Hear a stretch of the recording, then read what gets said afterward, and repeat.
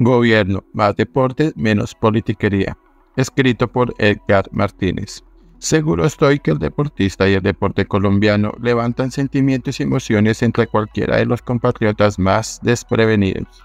Siempre tendré marcado mi mente históricos triunfos en los Juegos Olímpicos como el de Jimena Restrepo, medalla de bronce en Barcelona 1992, pasando por María Isabel Urrutia, primer oro de nuestra historia, y llegando hasta las leyendas de Mariana Pajón y Catherine Ibarguen en Londres 2012 y, y Río 2016, solo por nombrar a las atletas más publicitadas hasta la fecha. Con los hombres también reposan en los archivos digitales grandes proezas en unas justas orbitales como las de Helmut Wellington en Múnich 1972 y Los Ángeles 1984, obteniendo por primera vez para el país medallas olímpicas de plata. Sería injusto dejar a un lado las andanzas de Luis Herrera en su caballito de acero por las carreras ciclísticas más importantes de Europa, incluso ganando una vuelta a España en 1987. A la par con el deporte más es el fútbol y el agónico empate de la Colombia del Pie Valderrama contra la potencia alemana en 1990. En honor a la verdad, el deporte nos ha hecho erizar la piel. Es imposible referenciar los triunfos de cientos de atletas, en su mayoría salidos de estratos vulnerables, oriundos de las regiones más apartadas de las grandes capitales y casi abandonados por parte de la dirigencia deportiva y estatal, pero con agallas de sembrar en alto la tricolor, como rezan las relaciones deportivas cuando de escribir en un medio de comunicación un destacado triunfo se trata, máxime si es del orden internacional. Debo recalcar en esta parte como un atleta literalmente debe hacer vacas para viajar al exterior a representar a la nación o en su defecto aceptar el apoyo de otras latitudes para realizar ciclos de preparación previos a mundiales preolímpicos y olímpicos.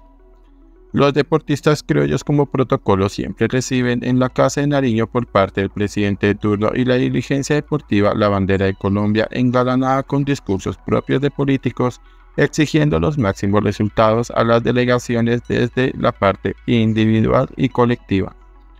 Pero ¿dónde está el apoyo de un gobierno serio con políticas públicas coherentes que apoyen a un deportista o equipo? En el caso del atleta individual, los ejemplos de denuncias abundan antes y después de las justas deportivas, que en ocasiones son aplacadas con la entrega de una casa y unos pocos recursos financieros. Populismo puro. Cuando se trata de competencias en conjunto, la empresa privada siempre saca a relucir sus cartas.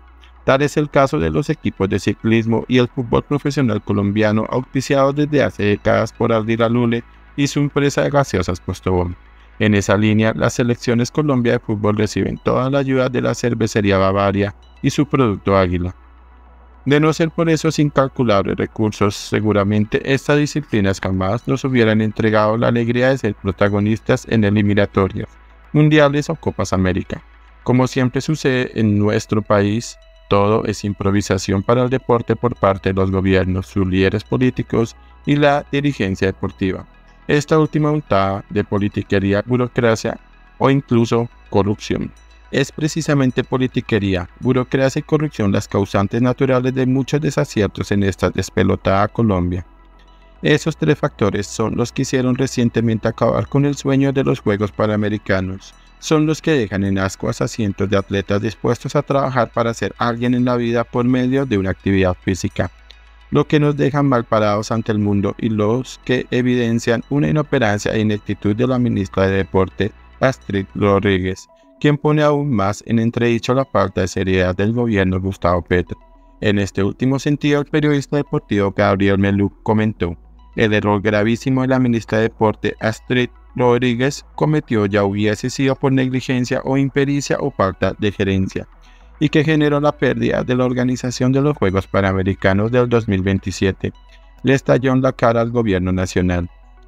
El retiro indeclinable de la sede asignada a Barranquilla por parte de Pan Sport, la organización deportiva panamericana, al no recibir el pasado 30 de diciembre el primer pago de los derechos causó la reacción de asombro y reprobación del país deportivo y de la mayoría de la nación política, incluyendo incluso algunos sectores oficialistas.